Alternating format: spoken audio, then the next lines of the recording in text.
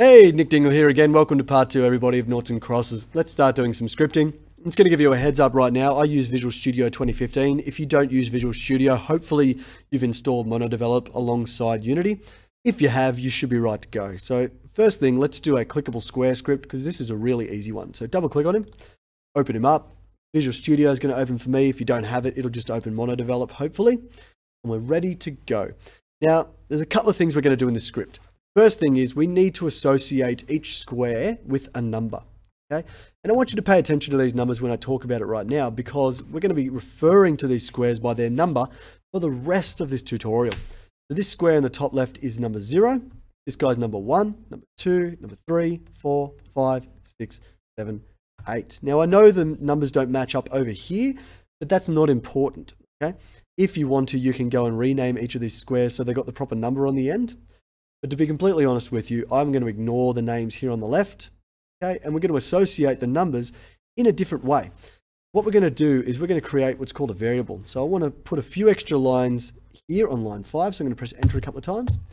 I'm going to go public int where number with a capital N equals zero semicolon on the end. And if I save this, I'm, you can either click this little save button here, or you can hit Control S, which I'm going to do every single time I save. Come back, you'll see Unity thinks a little bit. And now we've got this little thing here, square number, which matches up exactly how we created this. And it equals zero, and you'll see it put zero in the box straight away. You'll also notice that every single clickable square has now got this property. Okay, and that's because they're prefabs and they all share the same behavior. Okay, what this actually does, this line, we've made a public variable, which means it's accessible anywhere throughout our entire game. It's an int that stands for integer, which is a whole number. And then we give it a name, which is square number. And Unity is nice enough to capitalize the S and put a space between the two words. Okay, because Unity's smart enough to recognize that. And the equals zero is just to put an initial value inside of it. Okay. I want to delete all this code from line 8 to line 16. Gone. And we're going to put in our own function. Okay.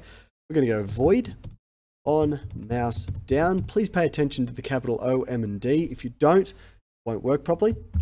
Open and close some braces, and then squiggly braces come in. So shift, open a squiggly brace, and in Unity, oh sorry, um, Visual Studio, if you hit enter here, it organizes all those lines for you.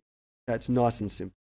So there's two things we're going to do here. This little function here fires off every time we click on an object that has this script. So that means every time we click on one of these squares, the code here from line 10 is going to execute. Two things we're going to do. First of all, we're going to tell the game manager which square just got clicked on and let the game manager handle everything else that comes after that. Then we're going to destroy this script so we can't accidentally click on the square again. This is actually quite easy. The first thing we're going to do is find the game manager object. So the way we do that is go game object, capital G, capital O, dot find. Okay, this is looking for the object, and in brackets, we have to put some quotes. And in the quotes, we put the name of the object we're looking for, which is game manager with a game. Now, what are we actually doing once we've found the game manager? Well, we're going to send him a message. So dot send message, space, so it'll finish typing for me.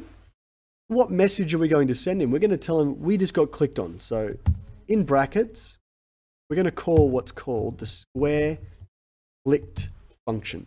Now, we haven't actually made this yet inside of our script, but this is going to be what we call it later on. And we're actually going to send it an object. Now, what I mean by that is when square clicked gets called, when we ask it to do something, we're going to send it a value. And this is going to sound a little bit weird, but the value we send it is game object with a little g. Okay. Once you've done that, put a semicolon on the end of your line and you're done. I'm just going to unpin these so you can see the whole line. So first of all, we find the game manager. We send him a message which is square clicked. And then we send him game object. What that actually is, is we're sending him the thing that was clicked on. So for example, if we click on this square here, we send the game manager the whole square. Okay. That's a good thing, okay? Because it means we can then spawn objects on top of him. We can destroy the script and all this sort of other stuff that comes along with it. Second stage, destroy the script, is actually really easy. Just type in destroy, open a bracket, type in this. This is a special keyword which refers to, you can see I'd highlighted that, it refers to the clickable square script. So what it's going to do is destroy the script, not the whole game object. It's quite nice. So that's it for this script. Now we need to start setting up our settings for our script, which are actually very simple. You'll see we haven't numbered our squares yet. That's still number zero. This one here should be set to number one. This is square number two, and so forth. Three, four, five, six, seven, and eight. Okay, with that done, that's the clickable squares 100% complete, and we're ready to move on to our game manager. Okay, so moving into our game manager script, there's a lot of things we're going to do here, and we're going to take it just step by step, and I'm going to split this into two videos, starting with this one, obviously. So the first thing I want to do is get rid of all these lines again from 6 to 14, okay, because we just don't need them. The first thing I really want to do is implement the message that we tried to send from the clickable square. Because what I want to do is test how it works, okay? So if we quickly come over here, we're going to need to make a public void square click. So you'll notice, sorry, click to. I need to put an ed on the end of it. Okay, open and close some brackets and put some squigglies. So this is the way that we structure a send message. So send message with square clicked has to match up with public void and then the name that you're trying to send a message to. Now we also have sent a game object. Okay, so what we need to do is we need to put a little variable inside here to capture that sent game object with a capital G game object, and I'm just going to call it square. Okay. Now, before we do any complicated programming here, what I'm going to do, I just want to print on the screen, okay, the word hello.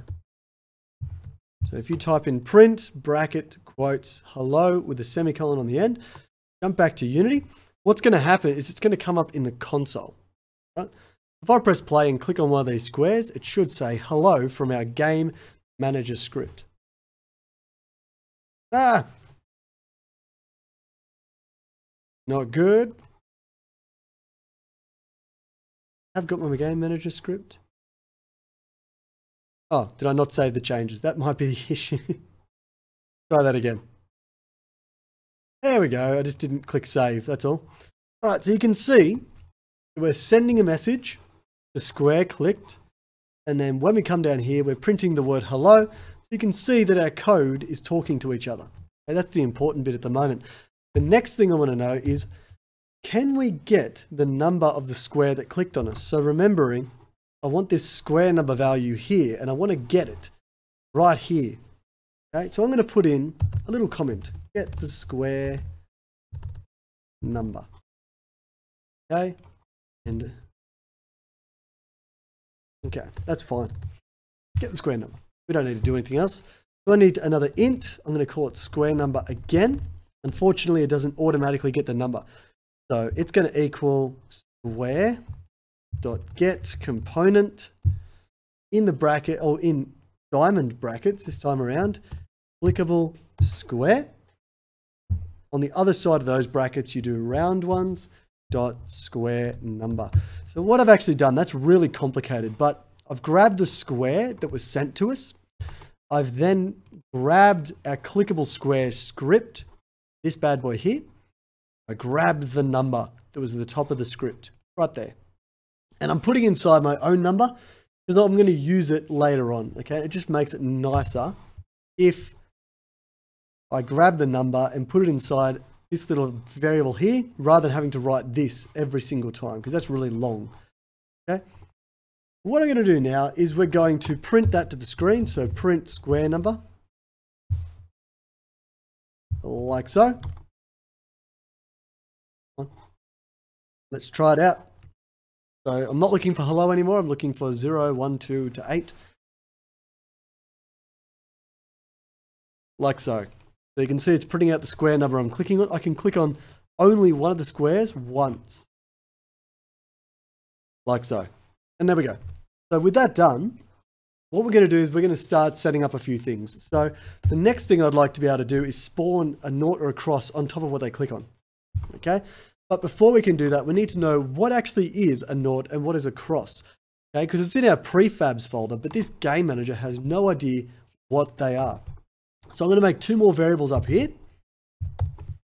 Okay, and I'm going to call them public game object, naught, public game object, cross. I'm going to put a little comment in again because I like comments. They make things nice. So let's say these are for the object prefabs. Now if I save, so I actually managed to remember this time, come back to our game. If I click on the game manager, see we now have a spot to put the naught and the cross object in. Okay, there's a couple of ways we can add those objects. The easiest is to go to your project, down to prefabs, and just drag them over. So the naught, bang, cross, bang. Okay. And the reason we do that is we've now told the script what you are going to consider a naught and what you are going to consider a cross. And if we go to our script, let's actually make another little function down here called void spawn uh, prefab, like so. And this is where it's going to create one of those objects. So let's call on spawn prefab, just like so. Okay. And I'm going to put another comment in, create prefab for the click. All right, I think that looks nice. And then in the code for spawn prefab, we're going to use a function built into Unity called instantiate. And that just means to create an object. Okay. If I open brackets, it asks for at least three things. Uh, the original object, which is going to be a cross or a naught, position of that object, and its rotation. So let's just start with a naught for the moment. For position, I'm just going to put it in the middle of the screen. And the way I'm just going to give it vector 3.0. And that'll put it smack bang in the middle of the screen. And I don't want the object rotated at all. So what I do is I write quaternion dot identity. And that means not rotated basically. When I click on a square, we're going to grab the square number and spawn the prefab. And it's just going to do the naught for the moment and put it smack bang in the middle of our game. Doesn't matter where we click, by the way. Okay. Have a look at that. It made it and see it right there. But if I pause the game, you'll notice it's actually behind everything. The easiest way to solve that is I'm going to move these squares back. Okay, so if you guys want to do this with me, click on the top square, shift click the bottom square. For the Z number, type in minus one. Okay. Where are my, oh, sorry, wrong way around, one. I type, not minus one, one. Right, now if I press play, click on, there's my naught. As I said, it doesn't matter where I click, it's only going to put noughts in at the moment. Okay.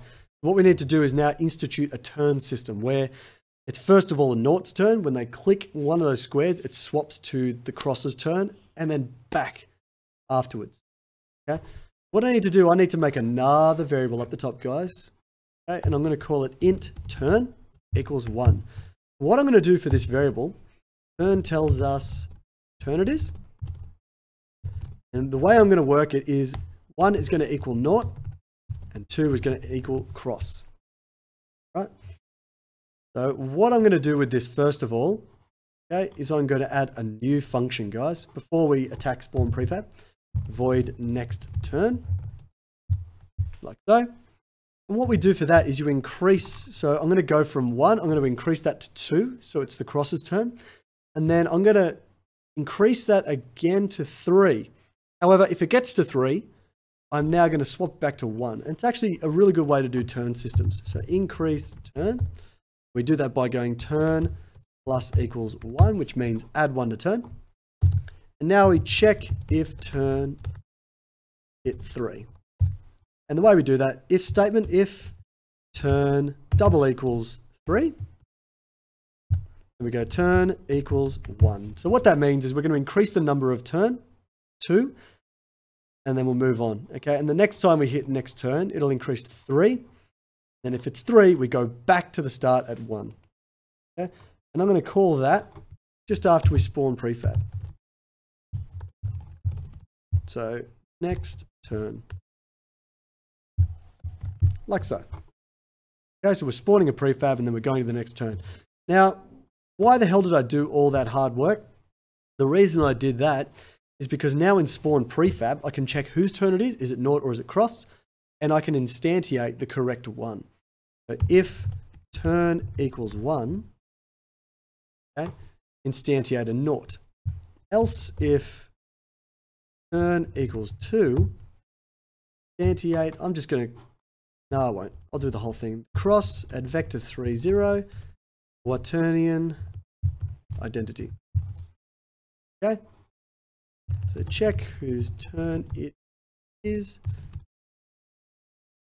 on their uh, just prefab, I'll call it. All right, that's a lot of coding, guys. So if you need to pause the video before I go and test it, just make sure you do. Okay, pause the video now, write up your code, and come and test it with me. Let's press play. It should start with a naught. When I press it again, we should get a cross, and it's going to go back to naught, then cross, naught, then cross and so forth. Now, this is the biggest problem at the moment. It's not going in the right place. What we actually have to do is edit our spawn prefab so that we can tell where to spawn the prefab, what actual position. Vector 3.0 is all well and good. We actually want to put it on top of the square that clicked on it. What I'm going to do is I'm actually going to put another variable up in here and it's going to be vector 3 and I'm going to call it position. Right? So what I'm going to do is I'm going to get rid of vector 30 and copy over position. Okay. You might be asking, what is the value of position at the moment? Well, we have none at the moment. Okay. Up here, we've got an error because it's asking us to give a value to position. All right. And then we have to ask the next question, where is the position coming from? Well, it's coming from the square that got clicked on. Okay, so right here in the brackets, asking for position. So I'm going to go square 3 or square, what I say, 3 square dot transform dot position. And that's how we get the position of the square that was clicked on. It's now going to come down here and it's going to use the position of the square to spawn our prefab. Okay? And you're going to see one more problem that we need to deal with, unfortunately. Again, they're spawning behind square. What I'm going to do, go back to 2D, sorry. Right here, we need to change the position Z back to zero. Hope that makes sense, okay? Because it was pushing our prefab back with the square, we don't want to do that. We want to pull it forward. So we'll set the Z back to zero. Play. Now, we have what looks like a game. Okay. So for the moment, guys, I'm going to call that it for this video. We've got a lot more to do. We need to check who's won the game. We need to remember whose turn it was. Oh, sorry, who went in what square, things like that. But for the moment, that's part two done, guys. Thank you very much for watching. In the next video, we'll finish it up. If you want to like, comment, subscribe, please do it down below. But otherwise, thank you very much for watching.